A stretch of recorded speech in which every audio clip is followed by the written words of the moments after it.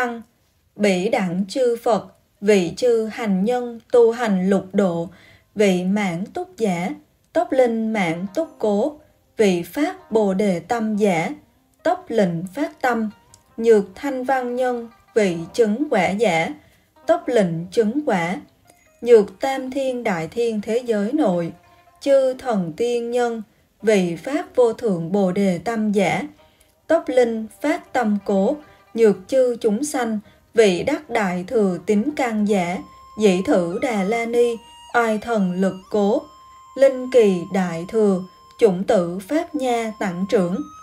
Dĩ ngã phương tiện từ bi lực cố, lệnh kỳ sở tu, giai đắc thành biện. Việc dịch.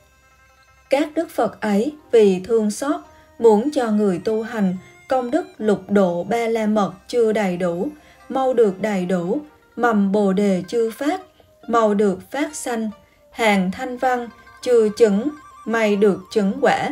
Các vị thần tiên trong cõi tam thiên đại thiên chưa phát lòng bồ đề, mau được phát tâm bồ đề. Nếu chúng sanh nào chưa được tính căn đại thừa, do sức oai thần của đà la ni này hột giống đại thừa, tự sanh mầm và tăng trưởng, là do sức từ bi phương tiện của ta khiến cho sự mong cầu của họ đều được thành tựu. Lược giảng các đức phật ấy, tất cả các đức phật, tất cả các đức phật trong quá khứ đã từng tuyên thuyết thần chú đại bi.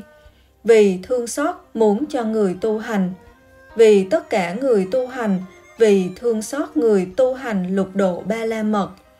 Thế nào là lục độ ba la mật?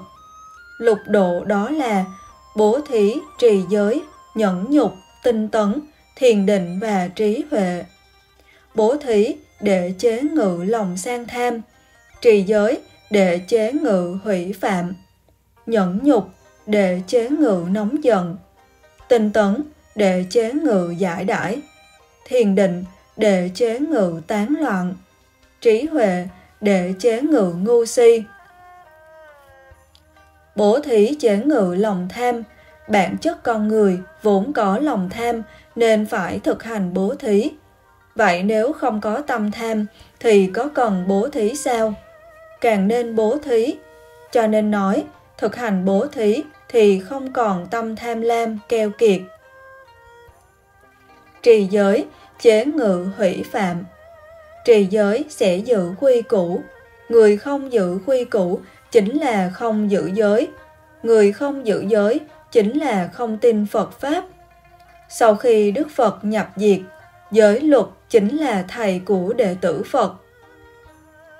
Nhẫn nhục, chế ngự, nóng giận. Quý vị là người nóng tính thì cần phải tu hành nhẫn nhục. Đừng vì một chuyện nhỏ nhặt mà nóng giận. Không nên có tâm ích kỷ. Không có tâm ích kỷ thì sẽ không có sự nóng giận. Không nóng giận thì chính là tu hành nhẫn nhục. Tinh tấn, chế ngự giải đãi. Quý vị có lười biếng không? Nếu có thì cần tinh tấn. Thiền định, chế ngự, tán loạn. Quý vị thích suy nghĩ vẩn vơ và theo đuổi vọng tưởng. Vui thích thì sanh tâm phan duyên. Vậy thì cần tu công phu thiền định có thiền định rồi, tán loạn của bạn đều tiêu tan. Trí tuệ chế ngự ngu si.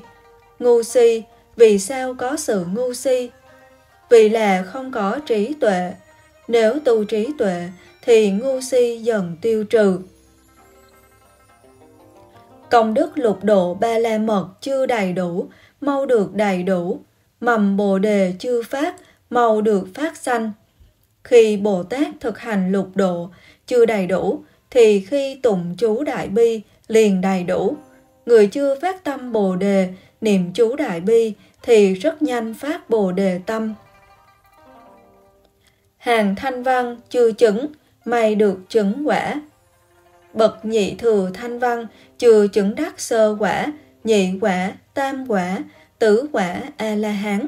Niệm chú đại bi, liền nhanh chứng quả các vị thần tiên trong cõi tam thiên đại thiên chưa phát lòng bồ đề mau được phát tâm bồ đề Nếu trong tam thiên đại thiên thế giới có các tiên nhân và mọi người chưa phát tâm Bồ đề, niệm chú đại bi liền nhanh được phát tâm vô thượng Bồ đề. Nếu chúng sanh nào chưa được tính căn đại thừa, do sức oai thần của Đà La Ni này, hộp giống đại thừa tự sanh mầm và tăng trưởng. Nếu các chúng sanh chưa tin vào Pháp Đại Thừa, niệm chú Đại Bi do thần lực của chú khiến cho căn lành Đại Thừa, hạt giống Đại Thừa và mầm Pháp Bồ Đề nảy mầm. Lại do sức từ bi phương tiện của ta. Ngài Quán Thế Âm nói, ta dùng năng lực, phương tiện từ bi của ta để khiến cho sự mong cầu của họ, khiến cho tất cả chúng sinh bất cứ mong cầu gì đều được thành tựu, đều được những điều mong muốn, đạt được mọi mong muốn và đạt được mong cầu của bản thân. Đây gọi là thành tựu, nghĩa là việc gì cũng thành tựu. Chỉ cần quý vị kiên trì trì tụng chú Đại Bi, quý vị có thể đạt được những gì quý vị mong cầu, mãn nguyện như ý. 哈哈哈，满心摩地梭哈。